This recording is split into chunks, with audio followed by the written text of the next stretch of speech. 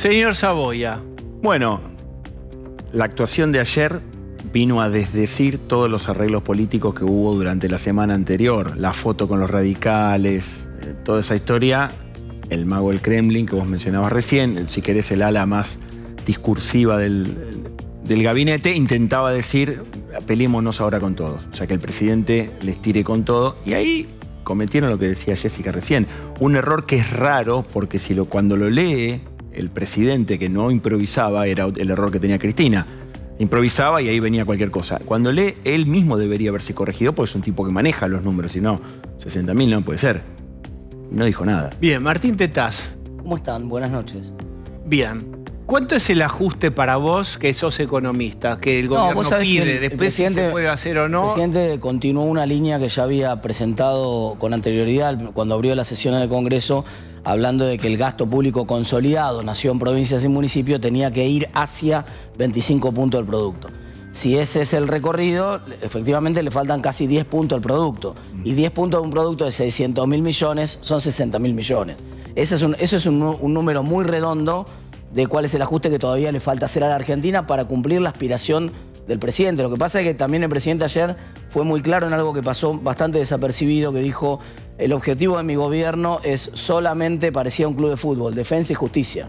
¿no? Solamente defensa y justicia, y bueno, y seguridad. Pero dijo, no vamos a hacer más nada, el resto a las provincias.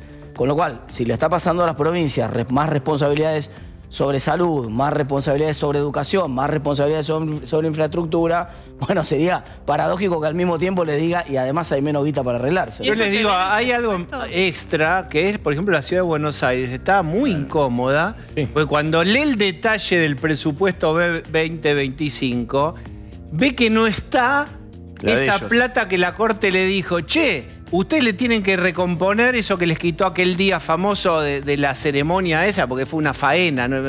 Esa, cuando Alberto Fernández le rodean la quinta de, Olivos, ¿recuerdan? La policía bonaerense está trincherada y se resolvió quitándole coparticipación a la ciudad. La Corte falló a favor de la ciudad. Primer y fallo. Son 95 y no está incluido. lo que pasa es ¿eh? que hay que ver ahí si no está la factura de otra parte del discurso donde el presidente dice, los que a mí me reclaman gestión, hizo tú una enumeración de hicimos esto, hicimos esto. ¿Quiénes son los que le reclaman gestión?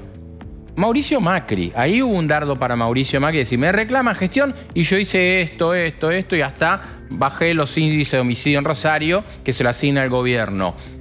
Ojo con esa cuestión que no haya una pelea. una cosa es una declaración, Pablo, y otra cosa es omitir en un presupuesto un fallo. te estoy hablando cómo se castiga o cómo se premia a un distrito. El distrito de la Ciudad de Buenos Aires es por el que se van a pelear también el año que viene la Libertad Avanza y el PRO. Sí. Esto, cada final, esto cada final o no, si hay una pelea a fondo entre Milei y Macri, es la pelea en la Ciudad de Buenos Aires. El presupuesto que ya se puede consultar en la web de la Cámara de Diputados se presentó y va a tener cientos de modificaciones. No pensemos que esto va a salir así. Es lo, lo, más radical que pone el gobierno, radical en términos de extremo que pone el gobierno para abrir la negociación. Esto es de manual. No va a salir así porque no lo va a votar nadie.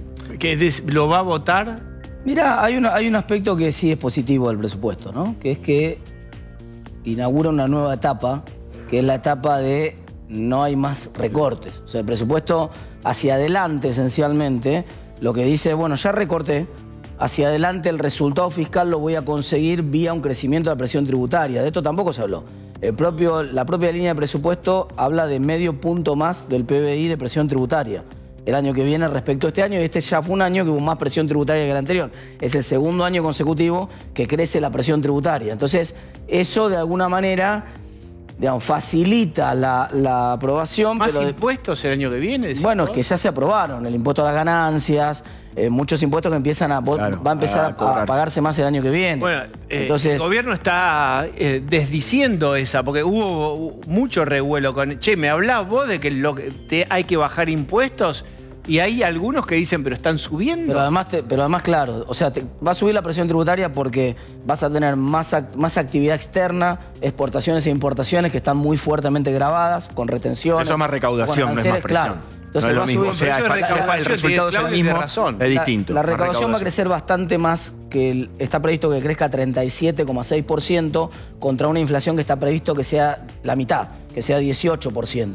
Con lo cual está previsto que la recaudación duplique a la inflación, o sea que crezca en términos reales. Y para cuantificar cuánto es eso, eso es 0,55 del PBI. El propio gobierno lo pone en poquito más de medio punto del PBI que dice que va a crecer la presión fiscal. Pero escúchenme, vamos a hacérsela fácil a los que nos están viendo. En el sillón, en este momento, oyendo y viniendo a la cocina, por favor, ¿va a haber que pagar más impuestos o menos impuestos? Más plata va a salir de tu bolsillo para pagar impuestos, así es. ¿Estamos seguros de eso? Impuesto a las ganancias. Claro. De, impuesto a los combustibles, monotributo duplicado. El impuesto, es cierto que no tenés el impuesto país, que no va a estar el año que viene. Claro, bueno, yo no veo claro el resultado pero vas a tener Hay, hay, corrientes contrapuestas en lo que dijo ayer el presidente. Lo mismo pasa con las provincias. Porque vos decís, por un lado no hay obra pública, o si la hay, la vas a tener que hacer vos, gobernador. ¿Con qué dinero? Y esto es un país federal. Eh, tendremos que conversar todo desde cero. Yo no voy a poner el, el cartel mi ley presidente a tu provincia, obra hecha por mí, por el perro, pero este, va a haber una puja por dinero y eso ya empezó en la ciudad. Un poco lo que está pasando es eso. A ver, Es un gran punto porque el año que viene es un año electoral y el gobierno claramente, si se termina una obra, va a querer que diga gestión mi ley. Entonces hay algunos pedidos de algunos intendentes y o gobernadores que tienen obras avanzadas en un 95%. ¿Qué le están diciendo a la nación? Déjame terminar. No me des la plata, rompamos el convenio, yo me financio, busco esa plata y lo, y lo y eso está en camino a arreglarse. ¿Pero qué dice el gobierno? Está bien, pero después de le estamos regalando la capitalización de una obra a alguien que la hizo solo en el 5% del tramo final. Va a venir una pelea que es más mezquina, porque es la pelea de la política, pero para ver si terminan algunas obras. Bueno, yo lo que digo es siguiente, tratamiento del presupuesto, la semana que viene o la, empieza el tratamiento en comisiones, todo que el otro. ¿Cómo se siente el gobierno para obtener los votos? Fundamentalmente con los gobernadores, porque si no, entonces... entonces, ¿qué va a pasar? Van a empezar, el gobernador le va a decir, escuchame amigo, yo tengo que ir a mi legislatura a que me aprueben este presupuesto. Y la legislatura voy a tener a mis opositores, eh, en algunos casos van a tener una legislatura negativa. ¿Cómo avanzan? Entonces ahí va a empezar a aparecer algo. Yo pongo un ejemplo, ayer lo ha gustado Bazán. Las rutas están hechas pelota en todos lados. Hablemos con la ruta 5, hablemos con la ruta Rosario y la gente que nos está viendo dirán, en tan provincia mi ruta está hecha pelota. Ahí va a empezar a discutirse y ahí va a aparecer lo electoral. Entonces, esta historia que hemos visto en los últimos días de los cinco diputados, el asado de mañana, mañana hay asado, bifecito, vacío pan, en Olivos, no sé qué, esto antes de un año electoral, Perdóname, ¿es información o es opinión lo de vacío pan? Pero yo, lo que, yo lo que te digo es, si mañana van los diputados amigables y se sienten y les dan un tibón y sale la foto, la gente se va a enojar. Después de un vuelto a los jubilados y ven a los asados, no, le van a dar un sanguchito de carne. Bien, quiero preguntarte, hoy escuchamos a Puyaro, que Puyaro uno diría está muy próximo a vos, a Martín Lustó, es el radicalismo evolución, si vos querés. Al principio bastante enojado, y ya hicimos el esfuerzo nosotros. Bueno, vamos a ver si se puede cumplir con esto que pedía el gobierno. Posteriormente hubo este Zoom, fue un Zoom que templó un poco los ánimos ¿Están haciendo o no esfuerzo las provincias? Absolutamente, pero además me Pero me puede dar ejemplo de qué están haciendo las provincias. Pero además la métrica está mal. La métrica está mal, porque la métrica son los resultados, no es la plata que vos gastás. Es, es kirchnerismo, pero hecho al revés. A ver. El kirchnerismo te justificaba, que apostaba, que le decía, no, no, gastamos el doble en educación, gastamos el doble en rutas, pero después te hacía la mitad de las rutas. Sea, efectivamente gastaba 50% más en ruta y te hacía la mitad de kilómetros. Uno de los casos más resonantes que saltó la corrupción de toda la obra pública fue por eso. Ellos decían, no, no, duplicamos la inversión en obra pública, porque te la medían en plata. Esa no es la métrica. La métrica es cuántos kilómetros me hiciste. La métrica de Puyaro, ¿cuál es? Si baja el delito en, la provincia de él, que es para la cual la gente lo votó. No si gasta más o menos plata. No hay ningún mérito gastar eh, un poco menos de plata. El mérito es que, por supuesto, seas austero, porque si no generas, no te puedes financiar, pero, pero que funcione, que hagas lo, para lo cual la gente te votó. Hay cosas que se van a judicializar. Yo quiero que Claudio Saboya me diga. Argentina es, la política argentina es un gran embudo en donde todos los conflictos terminan en la corte. Como el fútbol. Bien. Por eso creo que también está bastante obsesionado el gobierno en cómo se completa, si se. Eh, una extra large, marche una corte extra large. Claro. Digamos, ¿qué ¿Qué vos ves en puerta que va a, lo va a definir la Corte?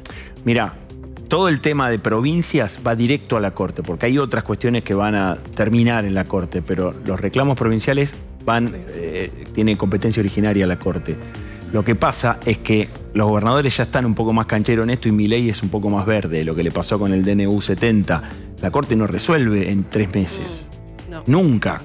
Mi ley no podía creer que mandó el decreto 70 en diciembre y en febrero no estaba aprobado, después de un mes de feria. Prácticamente quería que en cuestión de semanas le digan, listo, ok, vamos. Y le explicaron, "Mirá, esto no funciona así, por más que nosotros somos los que entendemos, hace un circuito, va por las distintas secretarías y bueno, y después se llega a un- una resolución. Cuando es vinculado a la política, esa resolución suele demorarse, porque esperan, como está pasando en estos Que días, la política resuelve. diga, che, eh, ¿qué tan seguro que quieran que sea yo el que defina esto? ¿Por qué no vemos algún otro camino? Porque cuando yo hable, se terminó. Y nadie quiere en los políticos que termine. Esto es otro clásico. Me detengo un segundo acá. Nunca quieren que termine. Les gusta también un poco el gris. Y esto. No, lo que pasa es que lo que tiene que saldar, lo que tiene que saldar la Corte no es lo que tiene que saldar el Congreso. La Corte no se va a expedir por cuestiones presupuestarias. Le va a decir, resuelvan ustedes. Ahora, distinto el caso cuando ya está el tema. Ejemplo, el caso de la Ciudad de Buenos Aires.